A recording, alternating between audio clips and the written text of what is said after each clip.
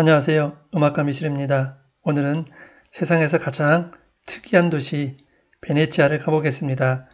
베네치아는 영어로 베니스라 부르며 우리에게는 베니스 상인 베니스 영화제로 친숙한 도시입니다. 베네치아에는 인구 26만 명이 살고 있고 5만 5천 명이 구시가지에 살고 있습니다. 베네치아 구시가지는 수상도시로 육지에서 3.7km 떨어져 있으며 118개의 작은 섬, 150개의 운하, 그리고 약 400개가 넘는 다리로 구성되어져 있습니다. 베네치아라는 이름의 기원은 여러 설이 많지만 하나를 든다면 기원전 10세기부터 이 지역 해안가 살았던 사람들을 베네티인이라 불렀고 그 베네티인에서 베네치아가 되었다는 설이 여러 개 중에 하나입니다. 베네치아는 아들이 해안 쪽에 긴 섬이 있는데 이 섬이 자연 방파제 같은 역할을 하면서 특수지형 석호를 만들어주고 있습니다. 참고로 석호란 모래나 갯불로 된 바다 늪지대를 말합니다. 과거 베네치아는 베네치아 공국의 수도로서 중세와 르네상스 기간 동안 유럽의 해상무역, 금융의 중심지였으며 유럽에서 가장 부유한 도시 중의 하나였습니다.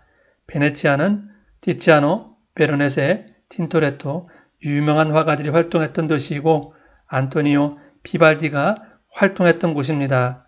베네치아는 수많은 예술가들이 찬미한 영감의 원천이 되었습니다.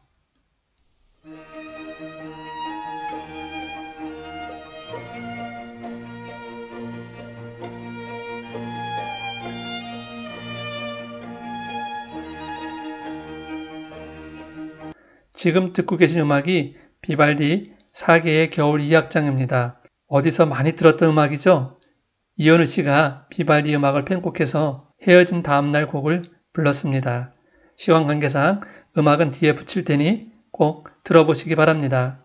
로마 말기 기원후 5세기경 게르만 민족의 고트적 알라릭은 로마를 약탈하였고 훈족 아틸라는 이탈리아 중북부를 공격하여 로마를 위협하게 됩니다.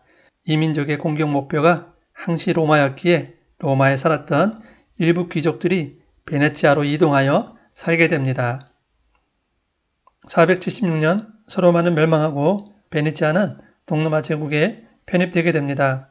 동로마 콘스탄티노플에서 베네치아는 너무나 먼 거리이기 때문에 베네치아는 오랫동안 독립성을 유지하게 됩니다. 8세기 들어 베네치아에는 시민들이 직접 동로마 총독을 선출해 임명하게 됩니다. 이것이 베네치아 총독 계부의 시작이 되었습니다. 751년 중북부에 있던 롬바르디인들이 점차적으로 세력을 확장했고 이에 전쟁 위협을 느낀 사람들이 베네치아 구시가지에 들어와 살게 됩니다. 그 당시 이곳은 일부 섬을 제외하곤 대부분 갯벌이었는데 크로아티아, 슬로베니아 지역에서 수많은 떡갈나무를 가져와 갯벌에 나무를 박아 그 위에 돌을 얹어 건물을 짓게 됩니다. 참고로 떡갈나무는 참나무의 일종입니다. 베네치아 건물 건설 방식은 수상가옥을 건설하는 방식입니다. 시간이 지나면서 인구가 늘었고 점차적으로 그 규모가 커지게 됩니다. 지금 베네치아 건물 밑에는 수백만 개, 수천만 개의 나무 말뚝이 박혀 있습니다. 나무 말뚝을 갯벌에 박으면 갯벌의 진흙과 나무 말뚝 사이에 공기가 빠지면서 압축이 되어 마치 진공 상태처럼 됩니다. 그래서 부패하지 않고 1300, 1500년이 지났음에도 아직도 건물이 무너지지 않고 오랜 시간을 버텨온 것입니다. 9세기경 프랑코 왕국 샬마누 대제는 베네치아를 정복하기 위해서 6개월간의 포위 공격을 통해 베네치아를 함락시키려 했으나 실패하고 맙니다. 샬마누 대제와 비잔틴 황제 간의 평화 조약으로 베네치아는 영구적으로 비잔틴 제국의 영토로 인정받게 됩니다. 1095년에는 십자군 전쟁이 벌어지고 베네치아는 교통의 여주로서 전략적으로 중요한 도시가 됩니다. 특히 베네치아는 4차 십자군 전쟁에 참여하여 콘스탄티노플을 점령하고 약탈하게 됩니다. 성 마르코 대성당에 있는 네 마리의 청동말도 이때 들어온 것입니다. 콘스탄티노플이 함락한 이후 베네치아는 독립국가로서 발전하게 됩니다. 그리고 비잔틴과 이슬람 세계와 거래하며 막대한 부를 얻게 됩니다. 13세기 후반에 베네치아는 유럽에서 가장 부유한 도시였습니다. 그래서 그 당시 많은 건물이 지어졌고 유능한 예술가들도 후원하게 됩니다.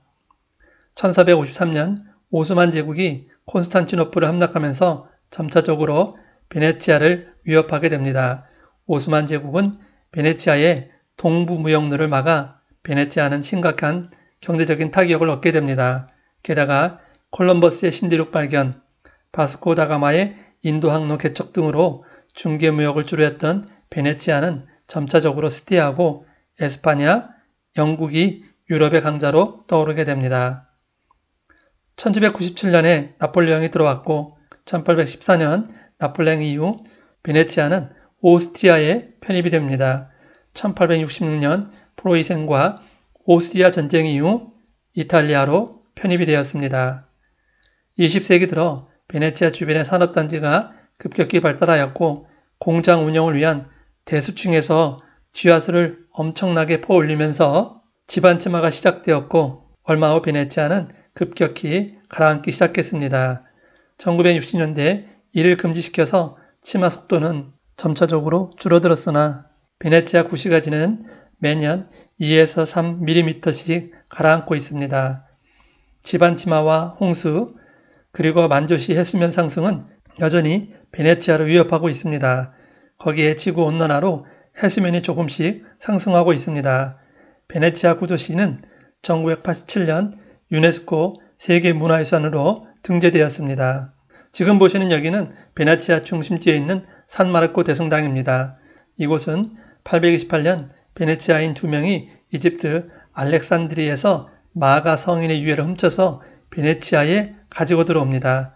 마가 성인의 유해를 보관하기 위해서 성당이 지어지게 되는데 그 성당은 976년에 반란으로 불타 없어지고 지금 산마르코 대성당은 12세기에 지어진 성당입니다. 그 옆으로는 1514년에 완공한 98.6m의 산마르코 종탑이 있습니다. 이 종탑은 1902년에 무너져 다시 재건축을 했습니다. 두칼레 궁전은 베네치아 총독관저로 9세기에 지어진 것으로 여러 번 중개축을 했습니다. 오늘날의 모습은 15세기에 지어진 궁전입니다. 여기는 두칼레 궁전 바로 옆에 있는 탄식의 다리입니다. 1600년에 지어진 것으로 오른쪽이 감옥 건물인데 죄수들이 감옥으로 들어가기 전 다리를 건너면서 아름다운 베니스를 보고 탄식을 한다는 다리입니다. 여기는 베니스의 대운하입니다. 가장 넓은 뱃길로 총 길이 3.8km이고 넓이는 30에서 90m, 깊이는 5m입니다. 이 다리는 대운하의 리알토 다리라 불리며 12세기에 지어졌고 여러 번 증개축을 했고 베네치아에서 가장 유명한 다리입니다. 이것은 베네치아의 명물 곤돌라로 11세기부터 운영했던 교통수단이었습니다. 시간이 갈수록 곤돌라를 화려하게 치장하자 결국 16세기에 아예 검정색으로 칠하게 규정했습니다. 베네치아는 베니스 영화제, 베니스 비엔날레, 베니스 카니발 등 국제적인 예술 행사가 끊이지 않는 세계적인 관광지입니다. 오래된 구도시와 아름다운 아드리해가 하나가 되어 아무리 봐도 질리지 않는 아드리아해의 보석이 되었습니다. 여행을 좋아하는 여행인들에게는 죽기 전에 꼭 다녀와야 할 도시입니다. 베네치아의 아름다움은 자연과 예술뿐만 아니라 생존을 위해서 최선을 다해 살아온 베네치아인들에게 있습니다. 오늘은 여기까지 하고 다음 시간에 만나도록 하겠습니다.